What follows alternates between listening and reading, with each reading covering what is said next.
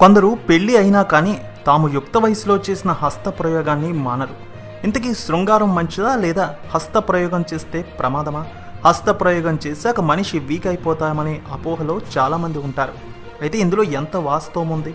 హస్త ప్రయోగం వల్ల వీర్య కణాలు నిజంగా తగ్గిపోతాయా? పిల్లలు పుట్టడానికి ఇది ఒక ఆటంకం అవుతుందా?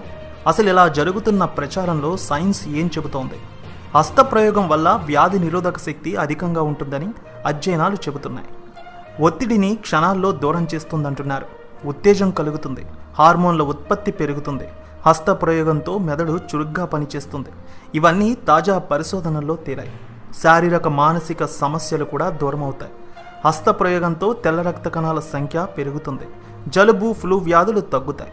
మైగ్రేన్ తలనొప్పుల నుంచి ఉపశమనం వస్తుంది పురుషులకి. ఇక హస్త ప్రయోగం వల్ల వీర్య కణాలు తగ్గిపోతాయి అనేది శుద్ధ అబద్ధం. డాక్టర్లు ఇదే చెబుతున్నారు. వీర్యకణాలు చనిపోయి కొత్త వీర్యకణాలు పుడుతూనే ఉంటాయి. ఇది శరీరంలో నిత్యం జరిగే పద్ధతి. కాబట్టి హస్త ప్రయోగం చేసుకుంటే వీర్యకణాలు తగ్గిపోతాయి అనుకోవడం పొరపాటు. నిజానికి హస్త ప్రయోగం వలన టెస్టోస్టిరాన్ హార్మోన్ బాగా ఉండి వీర్యకణాలు పడిపోకుండా ఉంటాయి. ఇది సర్వసాధారణమైన ప్రక్రియ. హస్త ప్రయోగం వల్ల నష్టం ఉండదని డాక్టర్లే చెబుతున్నారు. ఇక హస్త ప్రయోగం చేయడం వలన మొటిమలు పెరుగుతాయనే ప్రచారము ఉంది. మొటిమలు రావడానికి హస్త ప్రయోగానికి వంద శాతం సంబంధం లేదు. మొటిమలు ఆయిల్ స్కిన్ వలన కొన్ని ప్రొడక్ట్స్ వలన జీన్స్ వలన మనం తినే ఆహారం వలన హార్మోన్ల సమతుల్యత లేకపోవడం వలన అవకతవకల వలన శరీరంలో ఏర్పడే కొన్ని మార్పుల వలన వస్తాయి. దానికి హస్త ప్రయోగానికి సంబంధమే లేదు. యుక్త వయసులో వచ్చే మొటిమలకి హస్త ప్రయోగం చేసుకునే దానికి అస్సలు సంబంధం ఉండదంటున్నారు నిపుణులు. శృంగారం వల్ల ఎన్ని లాభాలున్నాయో తాత్కాలిక ఆనందం కోసం చేసే హస్త ప్రయోగం వల్ల కూడా అనర్థాలు ఏమీ లేవంటున్నారు నిపుణులు. సింగిల్గా ఉన్నవారు లేదా భాగస్వామికి దూరంగా ఉన్నవారు హస్త ప్రయోగంతో ఆరోగ్యాన్ని కాపాడుకోవచ్చంటున్నారు సెక్సాలజిస్టులు. సింగిల్గా ఉన్నవారు హస్త ప్రయోగం ద్వారా శృంగార కోరికలను మరింత సమయం కేటాయించవచ్చు.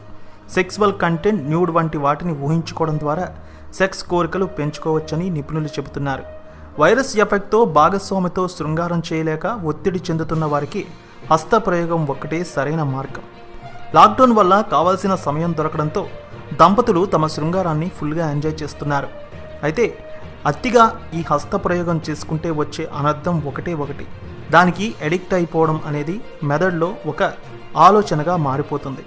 అదే కొన్నిసార్లు తీవ్రమైనటువంటి దుష్ప్రభావాలు చూపిస్తుంది. అందుకే వారానికి రెండు లేదా మూడు సార్ల కంటే ఎక్కువగా హస్త ప్రయోగానికి అవకాశం కల్పించొద్దంటున్నారు సెక్సాలజిస్టులు